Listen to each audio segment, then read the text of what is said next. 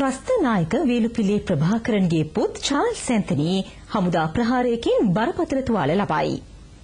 ගොඩබිම් සේනාංක සමග ඇති වූ සටන්වලදී චාල්ස් ඇන්තනී මෙසේ බරපතල තුවාල ලබා ඇති බවට තොරතුරු වාර්තා විය.